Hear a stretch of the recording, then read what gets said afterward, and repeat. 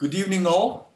Um, welcome to the Bilkent IR Talks. Uh, tonight, we are hosting a very distinguished uh, professor of political science and international relations, Professor uh, Birol from Portland State University is with us. Um, let me, uh, before I, uh, I, read his uh, biography, um, welcome Hocam. Thank you very much uh, for Thank being you, with Özgür. us. It's always good to be with you. Thank you Hocam. And uh, Birol Hoca is no uh, stranger to Ankara. Actually, he taught at our neighboring university during the early 1990s. And uh, he knows Bilkent very well. Um, Hocam, let me just read your uh, biography very quickly. Um, Dr. Birol Yeşilada is the director of the Mark O. Hatfield School of Government and is professor of political science and international studies at Portland State University. He also holds the endowed chair in contemporary Turkish studies and he is director of the National Center of Academic Excellence in Cybersecurity at the Portland State University. He is past vice president of the International Studies Association and is member of the board of Trans Research Consortium. Uh, previously, he served as director of the Middle East Studies Center at PSU, and Dr. Yeşilada came to PSU in September 1998 from University of Missouri at Columbia, where he was chair of the Department of Political Science. Dr. Yeşilada received his BA degree in 1977 in neurobiology from the University of California at Berkeley, his MA in political science from San Francisco State University, and his PhD in political science in 84 from the University of Michigan. His current research interests include global power transition, the European Union, political and economic development of Turkey, radical Islam and terrorism, the sorry, the Cyprus negotiations and international conflict resolution, and politics of economic reform in the emerging markets. He is the principal investigator of, investigator of the World Values Survey project in Cyprus. His recent publications include several books such as Global Power Transition and the Future of the European Union, EU-Turkey Relations in the 21st Century, Islamization of Turkey under AKP rule, the Emerging European Union, compared to political parties and party elites, and over 30 articles and book chapters. He is the former co-editor in chief of International Studies Perspectives and former associate editor of Middle East Studies Association Bulletin. Hocam, thank you very much again. And the title of your talk today is Global Power Transition and the Determinants of EU Integration. Floor is yours. Thank you, Özgür. It's always uh, a pleasure to be with you. And I thank everyone for the invitation. Uh, it's I wish I could be there doing this in person, but unfortunately it will be a while before I can uh, see any future uh, light for travel overseas. As you can imagine, the, the pandemic is causing havoc here as well, uh, not just in Turkey. And we are literally under no travel orders by the university. We can't even go to any conference. Um, and it was a real challenge to have the ISA conference virtually this year. Uh, but we pulled it off. Uh, it was a it was quite a success, and I'm always delighted to see young scholars from Turkey at ISA conferences. It, it's a it's a bright light for me. Uh, and again, thank you so much for inviting me to share my work with you today. I'll be talking about uh, power transition theory as it relates to future of European Union and uh, share with you some of our uh, work in determining, uh, empirically determining um, what uh, independent factors contribute to deepening of integration in Europe. And, and our goal is to further this study and test it in other regional integration cases because uh, any theory just for Europe is no theory. It needs to be tested everywhere. A power transition theory is not a, uh, a, a, new theory in, in and of itself. Uh, it uh, considers um, uh, relations between global hierarchy of nation states as well as regional hierarchies. Uh, you're all familiar with the works of realists where uh, power transition takes place when a, a, challenger rises and challenges the preponderant power. The power transition theory originated with the works of the late Ken Organski uh, at University of Michigan, and I and others like Jacek Kugler and Ron Tammen, and our uh, former students like Doug Lemke, uh, Gaspar Genna, and others are carrying on the research and expanding its implications and measures. The basic difference between power transition theory, which is a political economy approach, actually it's, it's larger than that as we now include more determinants of measuring power uh, of states uh, to include political demography as well as economics and military might. Uh, that's our main difference in measurement from the realists. And also the biggest difference is that realists assume that when a challenger reaches parity with the preponderant country, that you will have a major clash and a catastrophic war, which will result, most likely result in one new hegemon emerging from this. There is absolutely no solid empirical evidence behind this that it always has to be that way. Of course, you have clashes, but there have been many times in global politics when the challenger reached parity and took over uh, the transition successfully without fighting. The end of the 19th century, United States overtook Britain as the hegemon in world politics. Uh, that did not result in war between the two. Um, Soviet Union was never at the point of parity with the United States, despite being a nuclear power. And that was not a case of uh, transition, power transition. Uh, what you see here on this slide is the current global hierarchy with regional hierarchies. The global hierarchy is the United States, China, EU. Russia is way down in that hierarchy, really. I would even put India above Russia. And then the other cones are the regional hierarchies, the EU hierarchy led by Germany, France, then Italy and Poland is where we're going to be looking. The same implications of power transition can be applied regionally.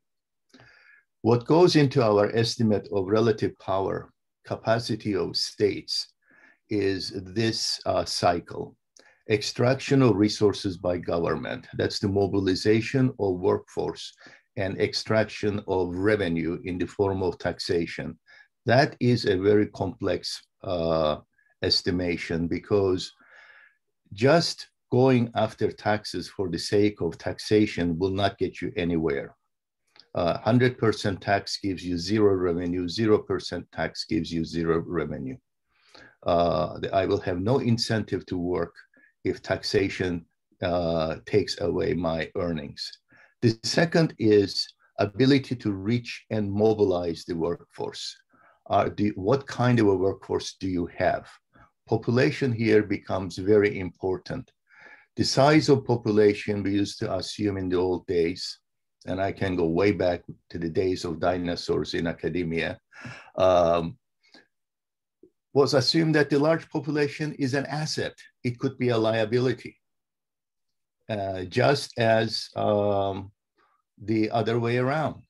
If you have a large workforce that's educated, trained, and productive, yes, that is an asset. But having a large workforce that is ignorant, unskilled, unhealthy, then that is a liability. Likewise, Consider the case of Israel, a tiny country, small population. So the size of the population is the liability, but it maintains a very high level of education and skill task oriented workforce. That becomes a positive contribution. So the uh, ability to mobilize and, and, and, and engage the workforce in productive ways is an important measurement that we actually work with the experts in World Bank and places like uh, Goldman Sachs, constantly comparing these. And recently, uh, we have exchanged uh, data with Acemoglu at Harvard uh, to compare, contrast uh, our work, which is quite promising. Now, the last part that makes a huge difference in a country's future is allocation. In other words, reallocation of resources. Where are you putting the money? Okay. Uh, are you investing in your people? Are you investing in production or are you wasting your money? United States today faces a tremendous challenge uh, as a declining hegemon. Uh, it is not reallocating resources effectively. And in fact, when you look at the performance of nations uh, in, in, the measure of uh, performance of states, United States ranks very low compared to many other countries. How does this translate into global phenomenon? What you see here is the graph estimating um, productivity is the size of the uh, line and position of the line for each country represents a relative share of global output uh, in the world. The dark blue is the United States, light blue is European Union, followed by green, that's India. And then you have Russia. And then right below Russia, the, the light purple is the UK. We separated it, as you see, from the European Union. And UK, in, in my opinion, committed a, a grave mistake by leaving the European Union. Now, it was never a fully committed member of the EU. It was always a one foot in, one foot out, love hate relationship, and always opting out of uh, treaties. Uh, but by itself, UK is an, a non starter in global hierarchy now. The brown is China. And today, depending on how we measure uh, per capita productivity and purchasing power parity is how we are standardizing the data. We can say that China has reached parity with the United States, and if it hasn't, in the next two years, it will. And it will take over the US as the largest economy in the world. Now, here's the, here's the big thing. Never before in world history has any hegemon not uh, was not at the same time the richest country in the world. China, as you see, will not have the per capita productivity based on that the size of that line, that curve, that United States and European Union will maintain. Now, United States will increase its productivity, but European Union is not. In fact, European Union is in big trouble as we project out more and the significance of the projection becomes uh, ludicrous actually. Uh, we see a trend in Europe of declining productivity. And here I would say one of the most important new determinants that we have realized is what uh, one of our new students has labeled silver tsunami in the European Union. What that means is aging population and low fertility rate. So European Union uh, desperately needs immigration policy. And that lack of effective, rational immigration policy in European Union uh, is standing in the way of bringing new workforce into the EU, which they desperately need. Uh, short of that, European Union will continue to decline economically relative to United States, India, and um, China. Far more serious uh, decline than the United States. Um, I have a student right now writing a dissertation on immigration and refugee policy in the EU, and the future does not look good. And I will share some of uh, our results with you as well. The biggest mistake European Union did in the 1990s, um, and I've, I, have been arguing this since the early 90s when I uh, started um, looking into EU enlargement, was uh, the mistake was not admitting U Ukraine and Turkey simultaneously into the EU. All our estimations showed that if those two countries were admitted into the EU, EU would have reversed its economic decline uh, relative to rise of China and the United States and India. But instead of doing that, they admitted uh, 12 Central and Eastern European countries and their contribution to the EU population growth was one third, raised it to over half a billion people. But the economic uh, contribution of all those countries, including a middle power like uh, Poland, to overall EU productivity was no more than five to eight percent. And in addition, it changed the balance of the center of gravity of north-south economic divergence in the EU from south to east. So now you had all the southern European EU countries in the Mediterranean region, Spain and Portugal included, arguing with Central and Eastern, Eastern European countries over the uh, structural funds and development funds. And as you know, European Union does not have a huge budget. Uh, that's where the big challenge is. It does not have a political union. It doesn't have a treasury department. It does have a central bank, but it has no fiscal union, which is the last stage of integration. Within the EU and European theater, this is the uh, hierarchy. Uh, Germany, France and UK, um, Turkey, Italy, Spain, Poland, Netherlands, Sweden, and so forth. Uh, you can imagine if Turkey was a member of the EU, what kind of economic boom that would contribute um, to the EU productivity. In fact, given the young uh, nature of Turkey's workforce, that would have also helped uh, immensely with the, the lack of uh, working population, declining working population in the European Union. Uh, one last thing I want to mention here before I forget is that there is also something else happening in the values changes in the European Union and all around the world. And we haven't included this in the research yet, but we're looking for ways of uh, including it in, in the next level of analysis. What we have noticed, and this came to me as a research idea from Professor Veysel Bozkurt at Istanbul University when he was visiting Portland State. He's a sociologist, economist, about work ethic. Uh, the Puritan work ethic, what's happening to it in the advanced democracies vis-a-vis -vis other countries. And we found using the World Value Survey that in the post-industrial societies, the emphasis on work is declining whereas it is increasing in the emerging markets. How does that further affect productivity in these countries like European Union and Canada and the United States relative to rising powers, particularly when you consider the work ethic in China and uh, places like Korea.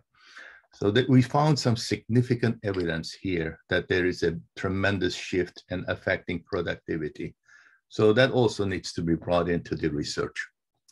European Union further faces a tremendous challenge in having a two-track integration, which in my view is a terrible mistake because they declared economic monetary union and signed the Maastricht Treaty uh, before even completing the common market the economist in me says that that was a very bad decision.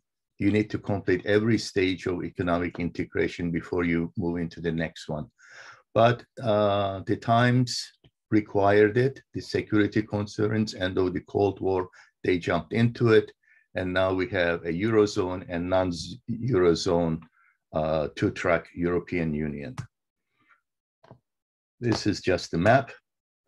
In addition, we have different commitments of the European Union and European countries uh, associated with the EU.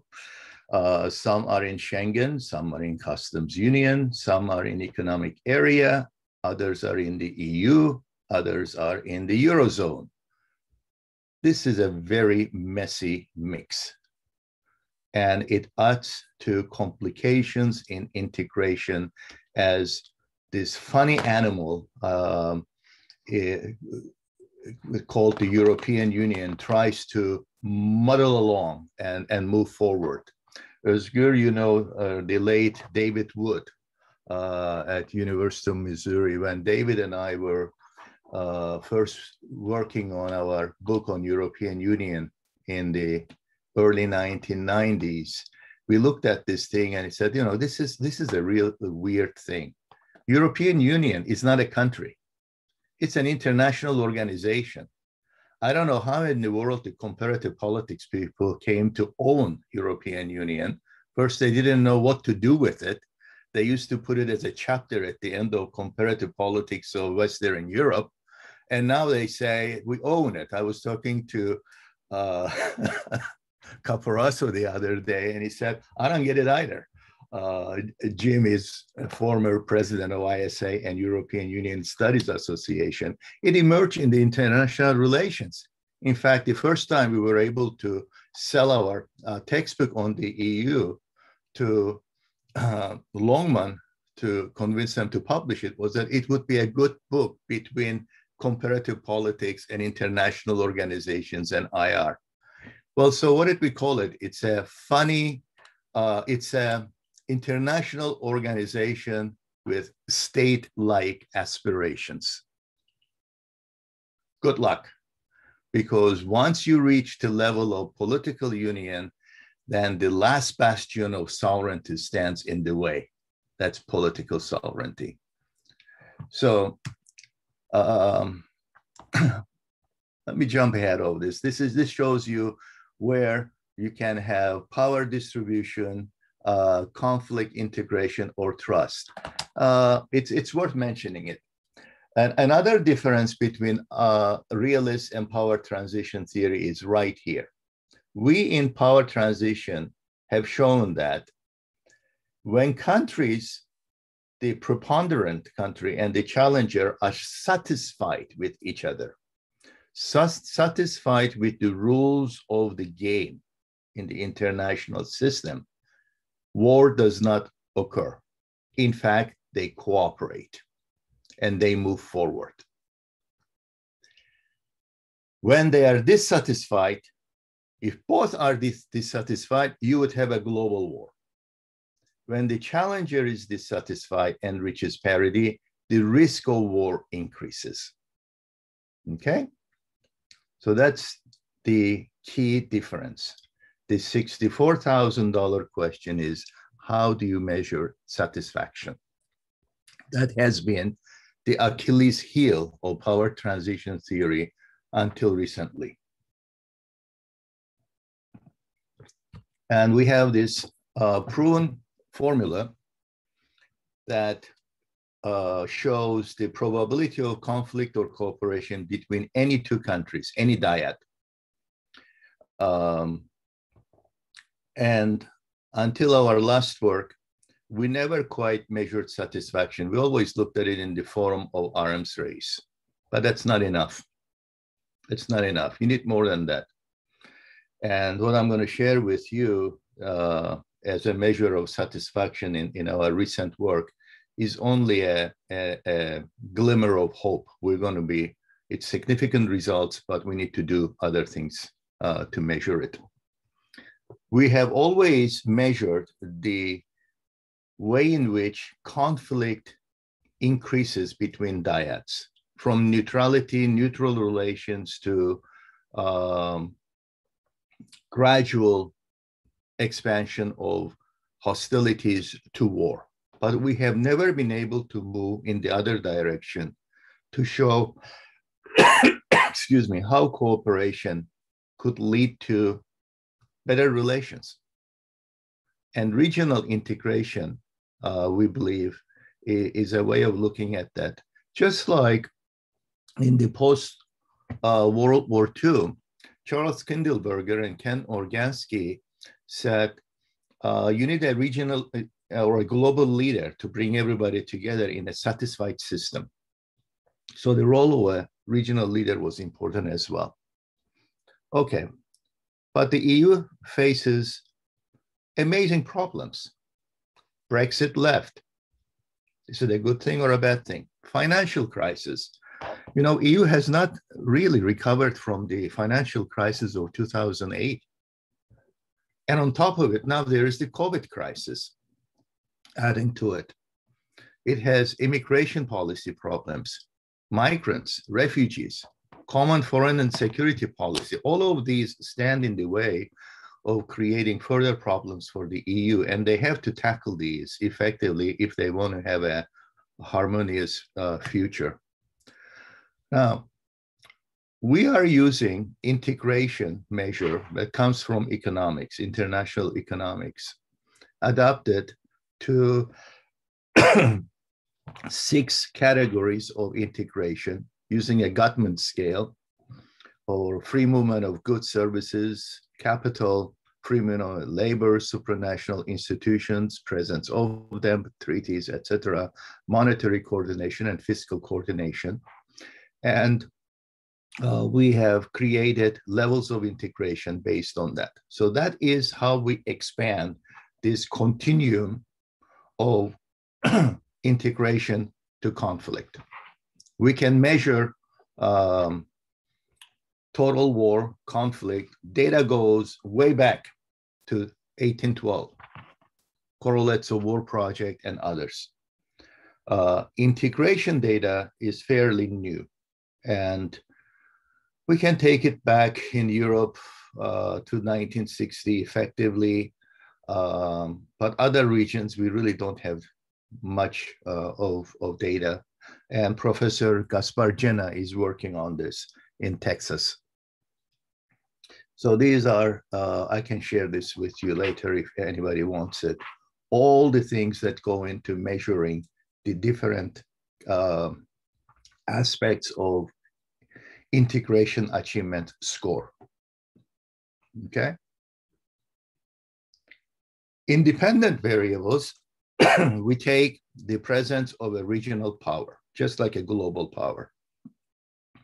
The hypothesis is that at the onset of integration, you need somebody to push it forward.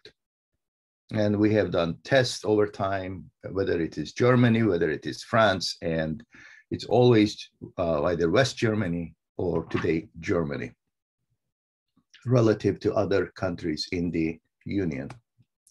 And this shows a German hierarchy uh, in the EU. Notice that there's a line there, 2019, just about where the German hierarchy, which was flat since 2004, jumps up. That's Brexit. You take Britain out of it, German hierarchy increases slightly. The second one is convergence of social values. And this is basically political sociology.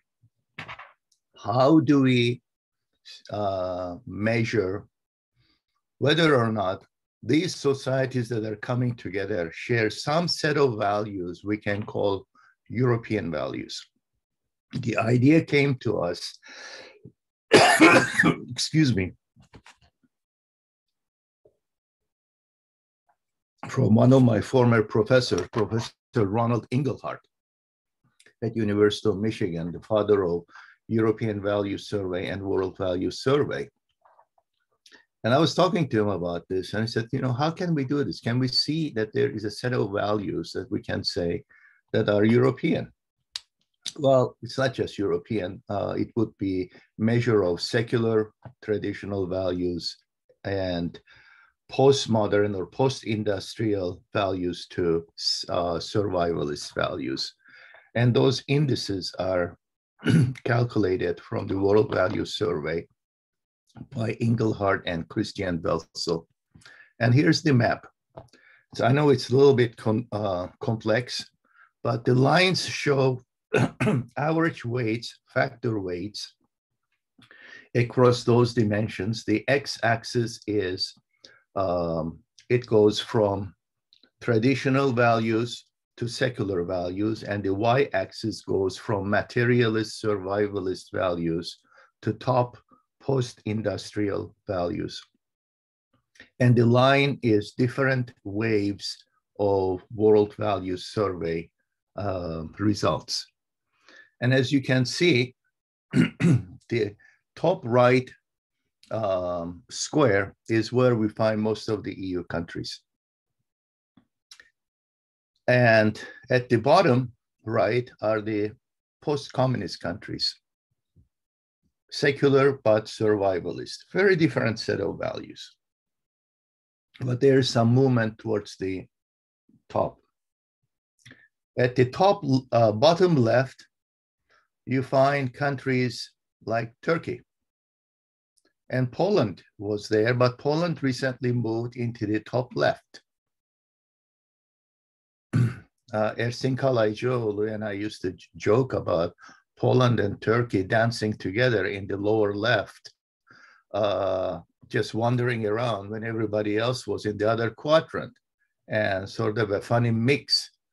And I mean, Tom Volgy looked at this and said, "This shows me, without you telling me any, any anything else, why Turkey will never join the EU." And I had to explain that to him. You know what what might that mean? Um, Tom Volgy is the former executive director of ISA.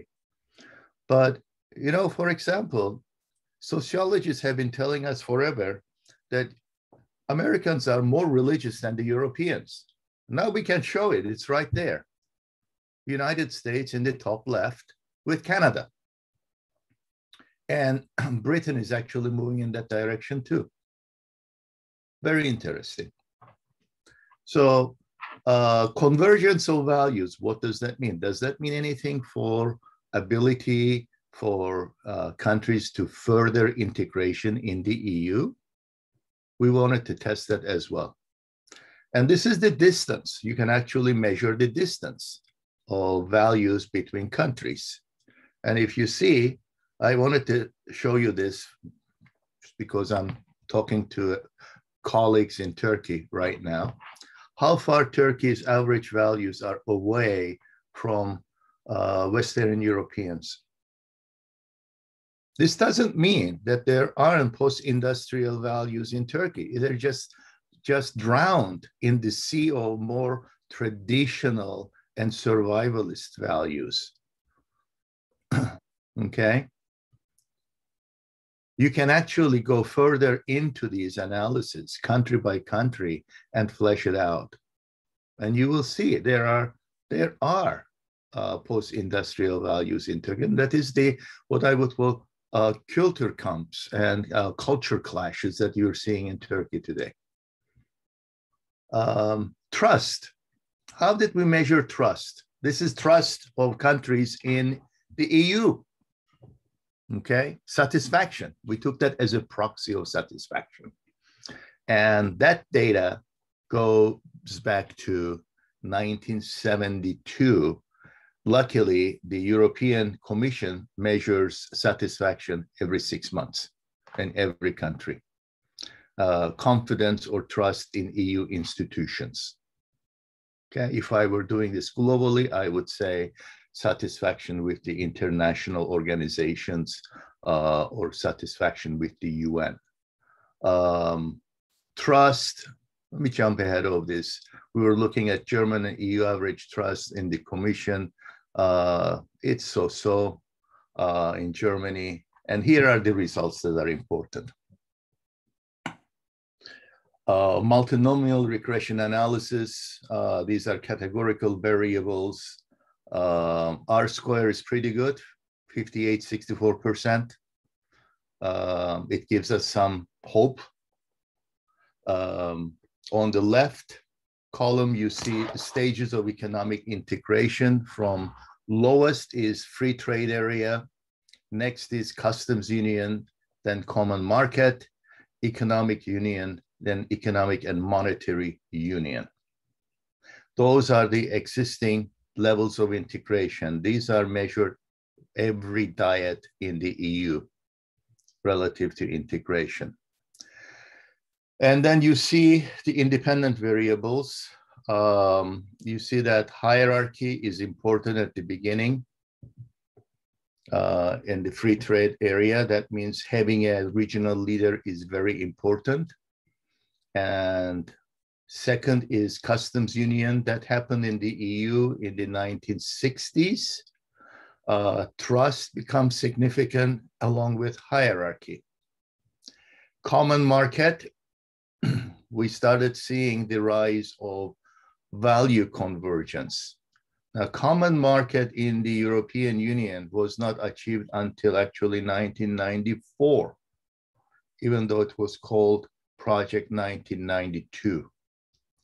Economic Union, we see again, uh, all three independent variables important, but once we get deeper into EMU, guess what drops out?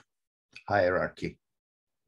Because now it is irrelevant to have a single regional leader to push it further. A lot of countries have come to the level of the, uh, if you will, the regional hegemon. So it's more of a collective decision to move further along. And this signals that for moving further into political fiscal union in the European Union is not going to depend on a single country or even two countries. We talked today about a German, Franco-German leadership in the EU to convince everybody else to come along. It is going to take hell of a lot more than that. Now, why are values important and trust? Because today, as you went through this integration process in the EU, you have to recognize one other factor. At the beginning, this was a political elite idea, it was not people's mission. In the 1980s, it was an attempt to move further and achieve the common market because big business got into play, led by big business lobby in, in Brussels. Everybody uh, claims that Jacques Delors was behind the Single European Act and pushed the EU for changes in the voting, etc. That's nonsense. It was the result of a big business lobby pressuring Jacques Delors and others, led by the former late uh, president of Fiat, uh, to convince the politicians that it is time to deliver the common market, which was the original intent of the Treaty of Rome. Uh, and that's a factual statement. Now, past that, we see people getting involved now. As you see in the changes in the institutions of the EU, the EU Parliament having more say in collective decision making as, uh, as an institution, people having direct access to lobbying uh, under the uh, Nice Treaty. So now it affects everybody, and it only makes sense. The deeper the integration, the more it touches individual citizens of the EU. So what started originally as a political elite experiment has now become a comprehensive everybody's business. And that's where values become important and trust in institutions become important. Unfortunately for the EU, they have tremendous obstacles and obstacles that are creating the notion of clashes between tribalism, if you will, and universalism in the EU. People looking for their uh, own selfish benefits in, in the face of growing challenges and difficulties versus what's good for the benefit of a collective. Uh, you know, this reminds me of, of the late Mancur Olson's uh, book on public choice, uh, collective decision making, and, and groups. So then we looked at how will how is Brexit going to impact integration. And we saw that uh, the highlighted points show movement towards further integration, uh, something uh, that we can see in, in the Eurozone with and partial financial integration, you need to have high level of trust to move further. Normal trust level is the average we have. What we did with this was we took the trust levels and we said, all right, if we move on with the moving average, where do we go in the next three, four years? If it declines by 3%, what happens? And if, it, if the trust increases by 3%, what do we see? That's what we see there. Low trust, normal trust, and high trust. Okay? And we see that for economic union countries, uh, Poland, Sweden, uh, Romania, and so forth, you need a real high trust, further increase uh, to get there. Um, whereas for the other uh, countries, um, the EMU, high trust will speed up the integration pr process. But honestly, looking at the events in European Union last year or so, I don't see high trust increasing. Um, and I, am I am curious what the next uh, Eurobarometer is going to show in terms of trust. Oops. And this is the way we can see uh, whether it's going to be um, the two different um, directions political union could be achieved or, or not in the European Union. You are going to need um, basically reinforcement by increasing trust to reach political union. And by political union here, I don't mean a complete federation. I mean a, a more of a fiscal union. Um, so how do you increase trust among egotists, if you will, to further deepen integration, especially when you're faced with this pandemic and more constraints on the EU? Um, if you look at what happened with the uh, pandemic, shutting down the borders. I mean, look, when the borders were shut down and in the countries were just going at it alone, it threatened the Schengen Treaty. And without Schengen, there is no EU. It's that simple. The European Union, Eurozone GDP declined by 12% in the last year's first two quarters. Greece and Portugal contracted by 10%, Italy 9 and, and the list goes on.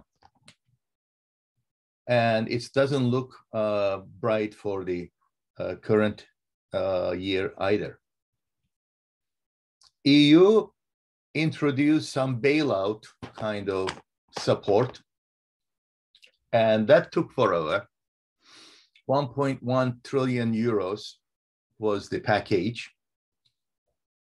But when you look at the bottom line of what that means, it's again a one off approach. There is nothing there that addresses what are we going to do if we have another crisis like this? Can we do another one off? What does that mean? Kicking the can down the road. In the European Union, there is no Treasury Department. In the United States, there is a Treasury Department. There is a huge federal budget. There is no huge federal budget in the EU. Uh, the budget of uh, Germany dwarfs EU's budget.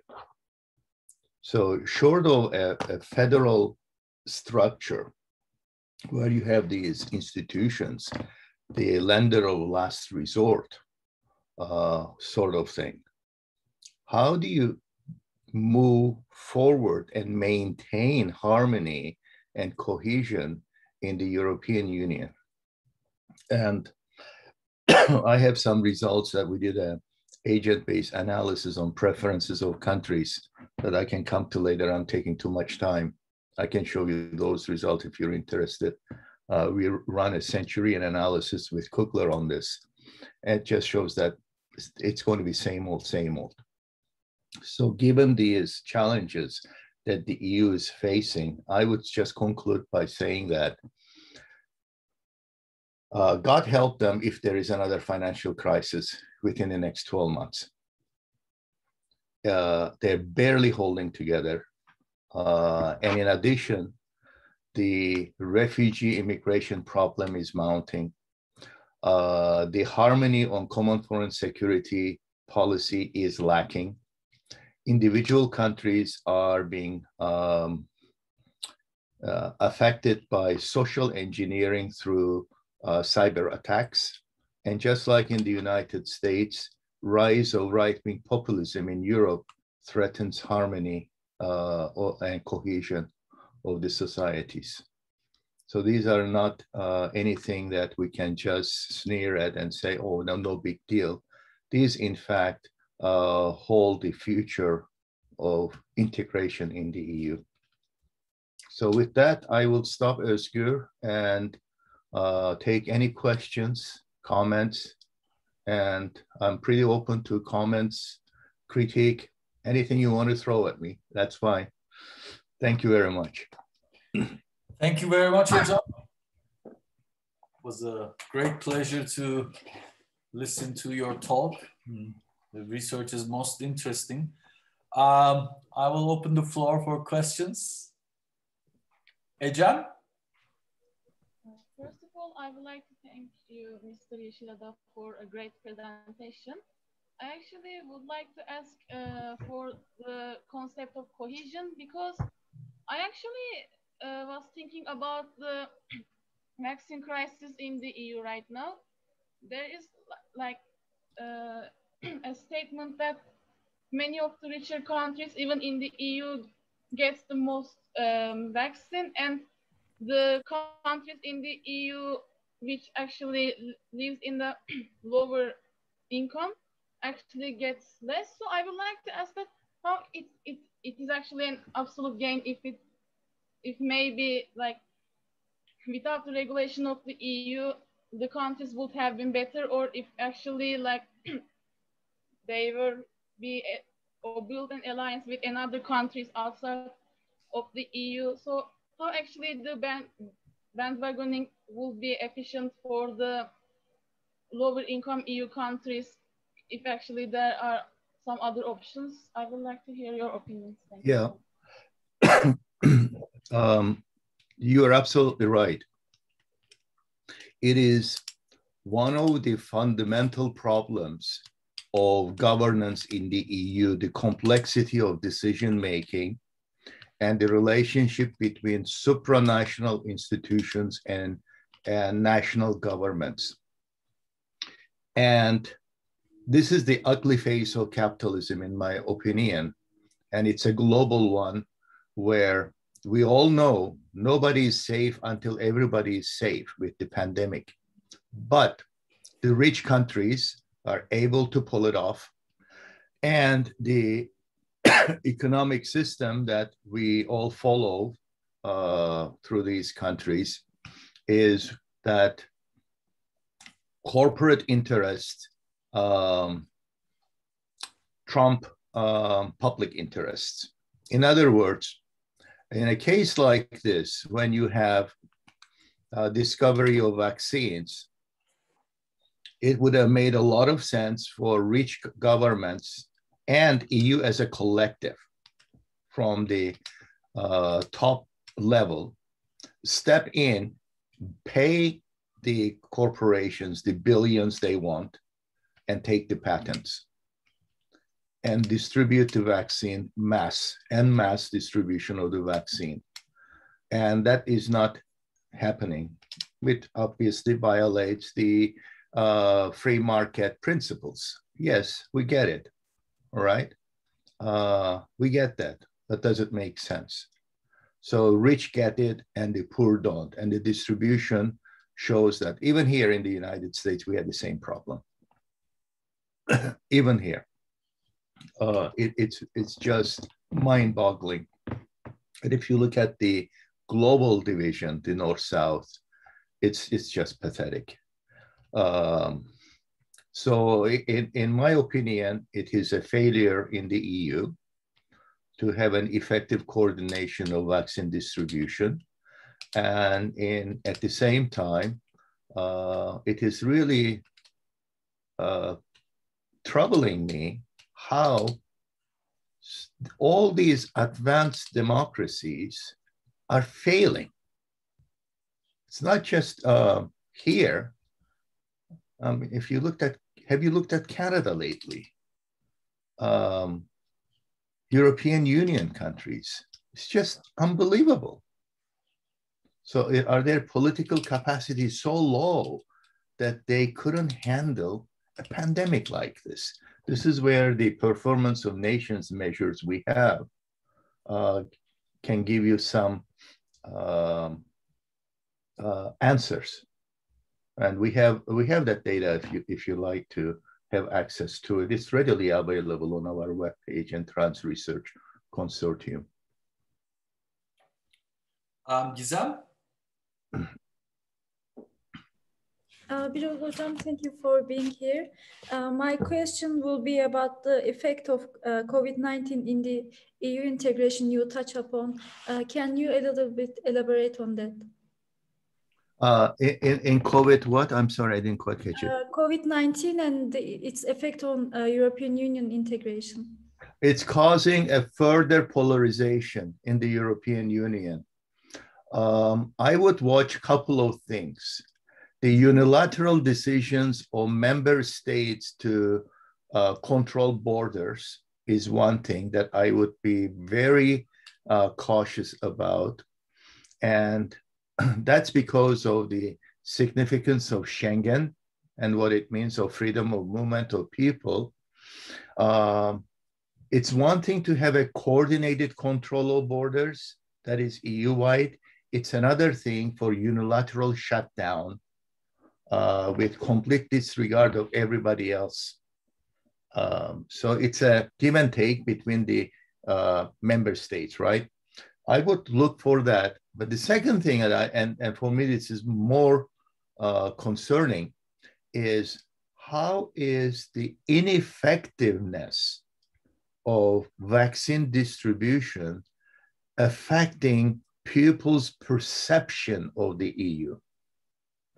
And I bet you this is going to come up in the next surveys in the European Union.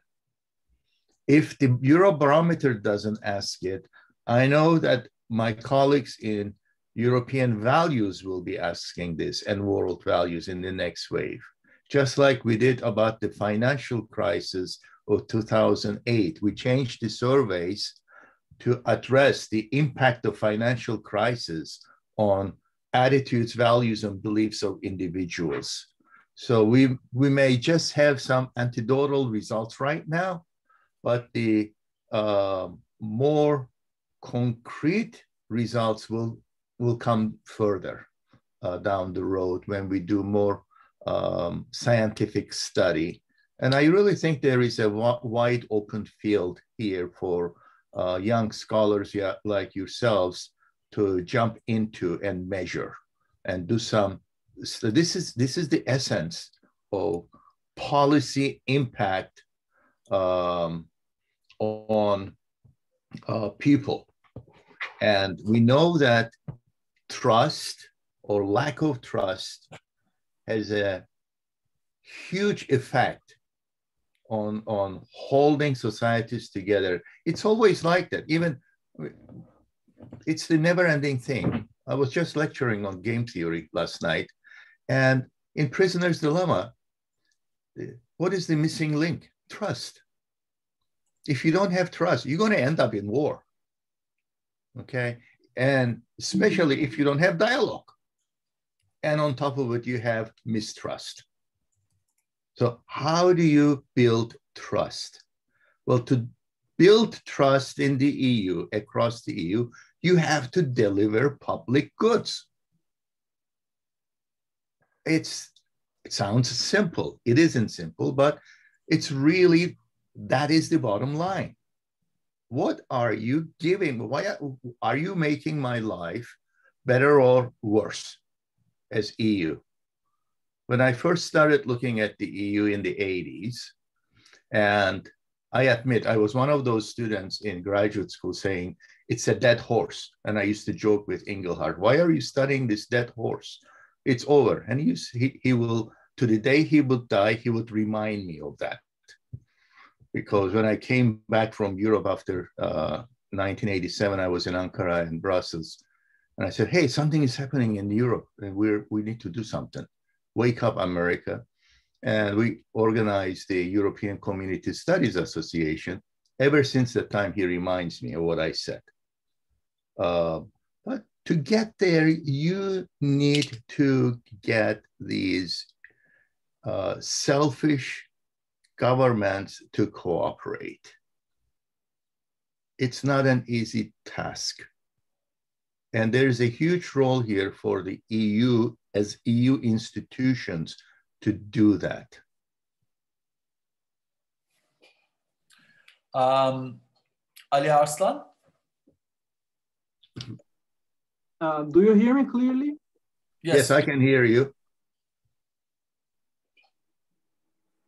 Um, okay. Okay. Uh, I want to uh, first thank you for this great talk today. Uh, it was beautiful. And my question will be on um, the mechanism created by satisfaction, trust, and power.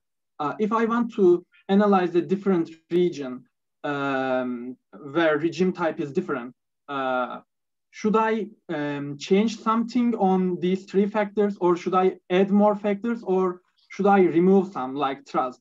Uh, the broader okay. question you can take the broad the question as does regime type influence the importances of satisfaction, trust, and power, respectively?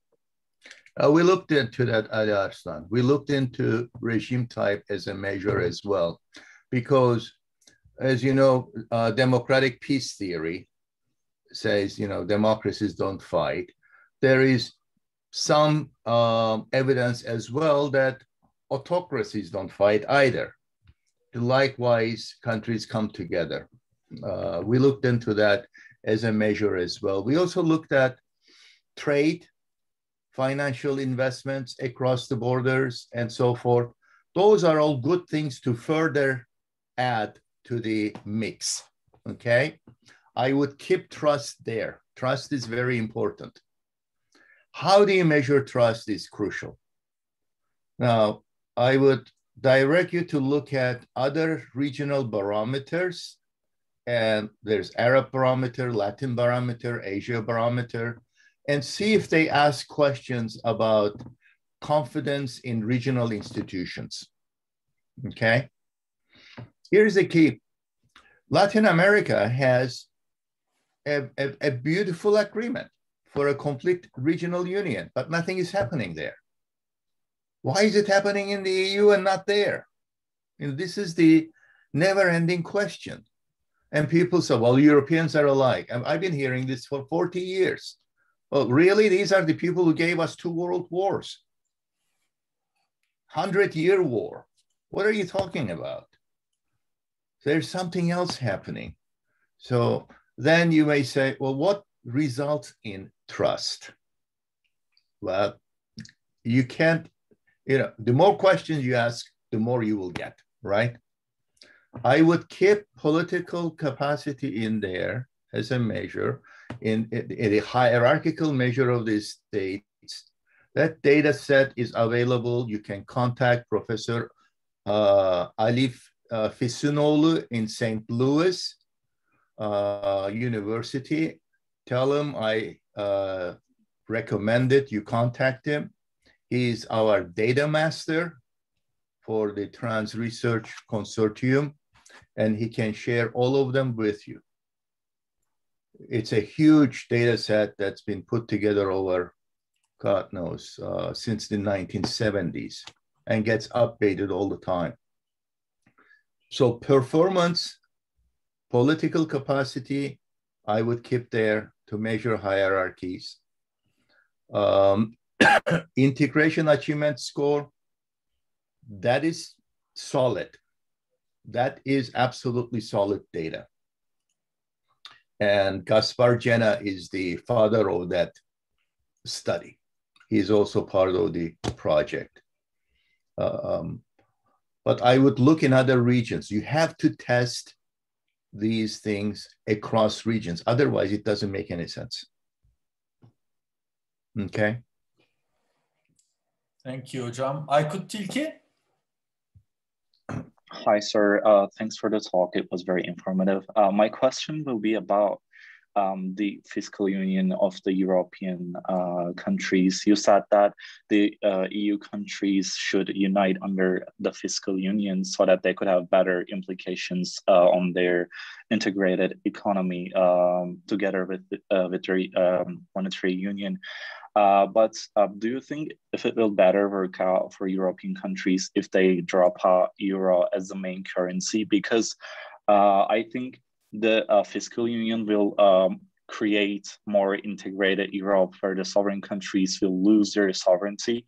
And this might result um, uh, in a backlash because if we consider the uh, populous countries um, such as um, Hungary or France, uh, because Le Pen might be elected uh, in the next elections. So do you think if um, dropping out the euro uh, would better um, work out for European countries because I think for now what EU should do maybe to lower the extent of the supranationality of the uh, EU, but create a more intergovernmental institution.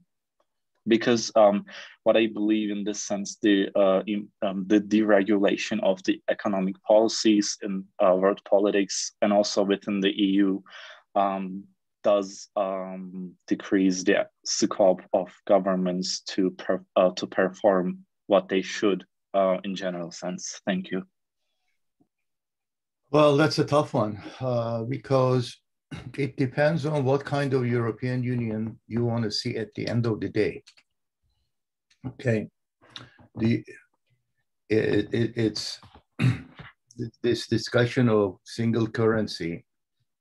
Remember, um, when the Maastricht Treaty was being discussed, should the EU have EMU or stay as a common market? In those days, there were only 12 countries um, uh, at stake. The problem is if you don't have a single currency, you're making banks and financial institutions rich over people the cost is on the individual consumer, transaction costs. And now with 27 countries, 20, 27 transaction costs. That's a huge loss, wasted money for reallocation. Every time you cross the border, you have to. Every time you buy and sell, you have to convert. There's always a transaction cost. So there was a huge debate between American economists and European economists whether or not EU needed a single currency. Yes, it needs a single currency, but it doesn't end there. There is a ironclad rule.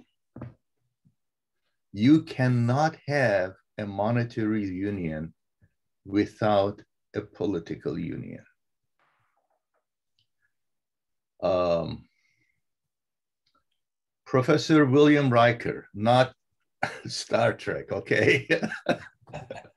Way back in the 1960s, Anala examined the emergence of America and why the Articles of Confederation did not have any hope of survival.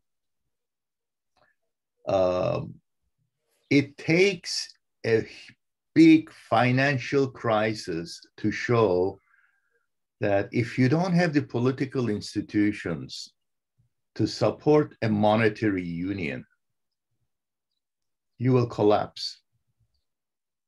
The only reason the EU is standing right now is its rich countries' ability to throw money into the pot with these one-off regulations and one-off financial uh, impetus uh, injecting money to kick the can down the road. And that becomes a further uh, uh, trouble in terms of building trust across societies. For example, if you look back to the 2019, 2008 and 2009 crisis, remember when Greece went bust, the finance uh, minister of Greece was saying they owe it to us. They need to bail us out. They need to just give us money and we deserve it because we're all one country, one European Union. And the German position, public position, was like, go jump in a lake. Why should I be bailing you out? This has always been an issue. The Germans are already fed up with the fact that they're paying, they've been taxed uh, in the West German uh, states to still pay for East German states to be harmonized with the rest of Germany. And on top of it, you're asking them to bail out the Greeks, the Italians, the Spaniards, the Portuguese. That doesn't go far, okay? Because fundamentally, even though you have a European Union, you still have these identity issues. If you look at the identity measures in these surveys, there's still a huge gap. When you control for age demographics, yes, more and more younger people are saying, I'm European first. But there's still a huge part of the population that still identifies with national identity first and European identity second. So there's a long way to go. And unfortunately, you have another financial crisis right now. I worry that a third financial crisis may break the bank, if you will. The ability to find more resources to bail out everybody. It's not sustainable. At some point, they have to have either a fiscal union push that through. I don't know how they're going to do that. Okay. Because all the results I see right now is saying same old, same old. Nothing else is stable. Uh, or revert back to less than a uh, uh, an integrated EU that we know today. Step back and rebuild again. And that is a huge cost. Let me sh share one other thing with you. I mean, for example, uh, in the uh, horrible days of Trump, when Trump was pushing the Europeans to increase this and increase that in defense spending, it's not possible because there are financial agreements, treaties in place that says you cannot go beyond this level of spending in the EU. Okay. On top of it, there is no such thing as a euro bond, like American Treasury bonds.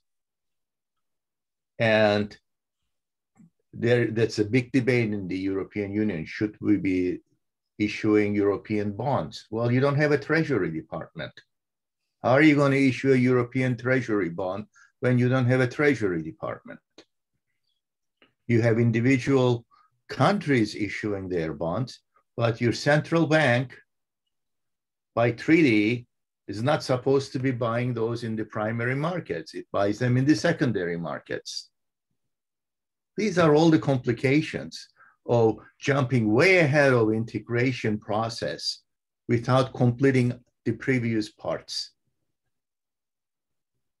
And now, um, you know, the famous analogy, the chickens have come home to roost. Um, Hocam, thank you. We are quite a bit of um, over time. Um, do you have a time? Do I have time for maybe one more question or something like sure, that? absolutely. okay, then maybe one more um, question. Um, um, our professors didn't ask a question, so I will uh, give the priority to Eliza Hoca uh, for the last question. I feel bad to take the students' place, so I'm happy to. Don't don't worry, don't worry about it. uh, thank you very much, Professor uh, Professor Yeşil Ada, for your very interesting talk. Uh, my question has to do with um, a point you made earlier about the horrible days of Trump uh, but also uh, what are what is currently going on in, in Europe. It feels like uh, the nightmare is not over. Um, how do you think the EU can create a political union without a military union?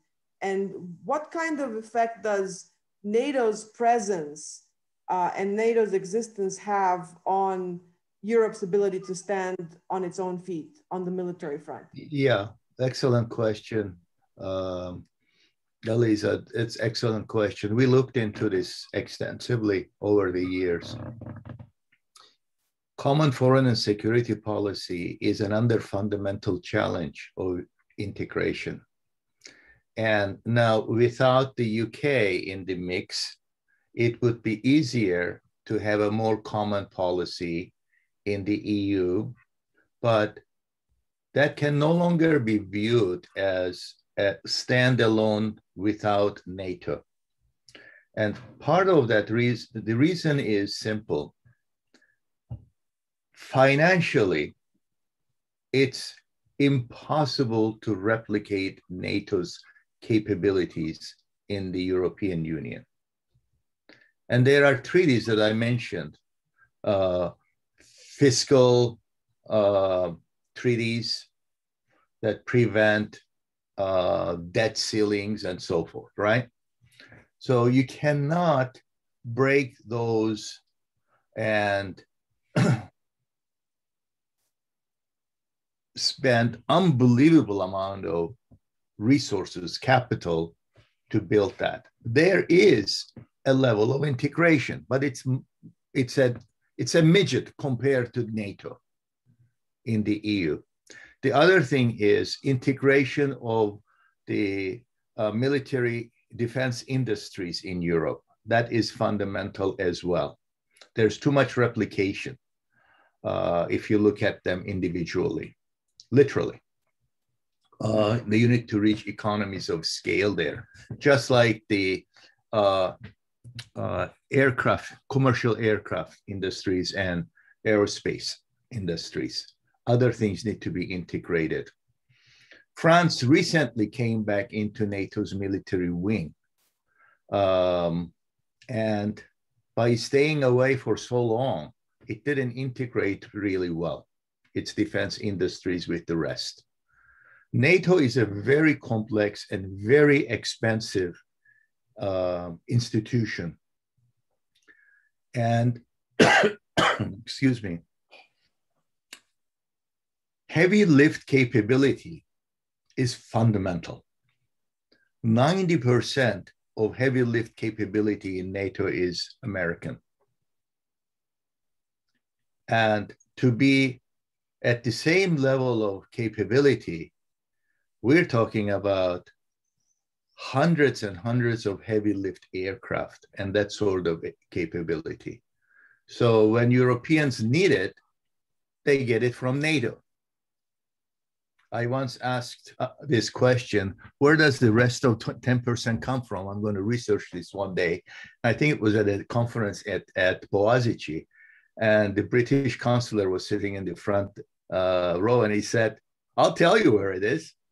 It's the Ukrainian aircraft that we rent and you pay for. Uh, I just about fell out of my chair. Uh, it, it's if you notice that expansion of NATO and enlargement of EU went parallel. And that was deliberate. That was very deliberate. Initially, following the French idea, Europeans pushed for EU alone uh, alternative in the Maastricht Treaty. And then Bosnia happened And then they realized they don't have the means to deal with it. And at the end, they had to call NATO in. And by uh, the next treaty, they had to revise it and say EU NATO partnership. That has been the principle since then. Now, I am very worried about what Trump caused in the transatlantic alliance. He caused a tremendous damage in the cohesiveness and the level of trust in, in NATO. Um, remember the formula I was showing you, conflict cooperation? We did this study, uh, you know, what does it look like if China was to rise against United States and so forth, the probability of conflict increases. And probability a conflict between China and EU increases over time as China rises. China is violating everything I used to think of China as this neutral power, the sleeping giant that burned its navy 500 years ago and became insular. Now they're everywhere, very aggressive, incredibly aggressive, and ready to take on the United States. And the future scenario that worries me is where the more problems Putin has with the West, and he's pushing that to stay in power more and more, he's going to rely on Chinese support. And this coalition that's emerging between Russia and China, this cooperation, not that they love each other, but also remember, they signed a huge economic treaty and energy treaty. They're building energy pipelines from Siberia to China. Uh, will become the bloc against EU. EU needs NATO. We need a transatlantic alliance in this rising, challenging uh, the the, the um, new alliance, Eurasia alliance where India would, would fit, I don't know. We can uh, debate that. Uh, but that's another sleeping giant that's rising. Um, but notice, if you go and read the military doctrine, recent military doctrine of Russia, they're very proud of their information warfare capabilities to dismantle democracies from within. And they're doing that very effectively, cyber, cyber warfare.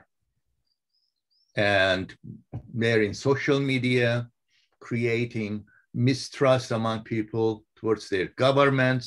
They're fueling uh, this mistrust. They're creating uh, false information and feeding that constantly. And they're proud of it. They're open about it. It's published. It's one of their, uh, it, they call it the cognitive side of cyber warfare, information warfare.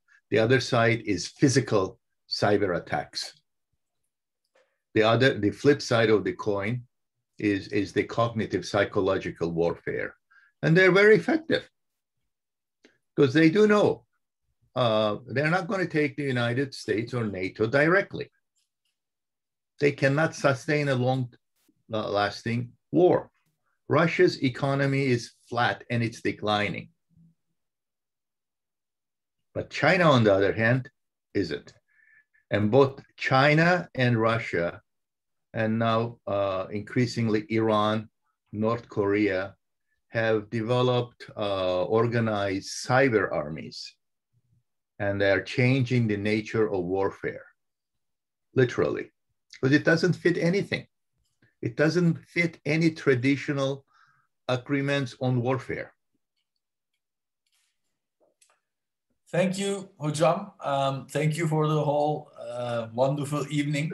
Uh, it was a pleasure to listen to your research. And I thank you. Um, I really enjoyed it. Thank you very much for coming. Um, I hope to see you someday in person. uh, hopefully. Uh, and if not in Turkey, maybe uh, next ISA, God willing. we shall see. Certainly, hocam. And I also hope that we can also have you here at Bilkent at some point. Hope so. Hope so. Thank you very much. Thank you. Have I really nice appreciate day. it. Thanks a lot. You. Thanks a lot, everyone, for coming. Bye bye. Have a good evening. You too.